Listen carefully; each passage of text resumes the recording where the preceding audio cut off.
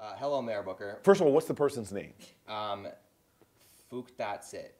Fook dot sit. Why are you laughing? I am assuming That's definitely not how you pronounce I'm it. assuming you've just ruined my ability to become a United States senator. If that's what I should do, it's like my political career is over. Fook dot sit. Yeah, yeah, that's exactly what it is. Okay. Uh, It sounds like something you would order off of a menu. I would like the Fook very- dot sit, please. Very polite. Hello, Mayor Booker. Yes. Would you rather fight one Chris Chris Chris Christie-sized duck or 100 duck-sized Chris Christies? Please answer this. My curiosity keeps me awake all night long. Okay, first of all, that is not curiosity keeping you awake. that is insomnia that is keeping you awake. Because if this is on your mind, you have a very good life. First of all, what does Chris Christie have to do with it? They just threw him. I hope there. that Chris Christie gets. Would you rather fight a Cory Booker-sized duck or a horse-sized Cory Booker's? give me it to me one more time, and I'll give you. I'll give you. I'll give the person Fook.sit. I will give you a.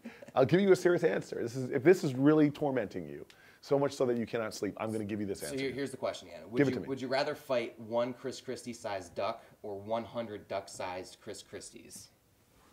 100 well first of all i mean to be honest with you like little chris christie's the size of a duck would mean that i would be fighting a hundred like a hundred little people and there's something about beating up a hundred little duck-sized chris christie's there's something about that that would disturb me and the second thing is fight would i rather do that or fight one big duck or horse which Chris, is it? or Chris Christie? I would, I would not want to fight Chris Christie, period.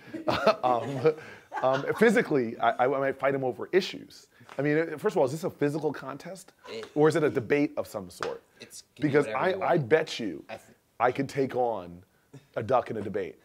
I mean, give me Daffy. Is there any other famous ducks? Donald. Donald. Give me Donald. Give me Daffy. Give me McScrooge. And I would take them on a debate.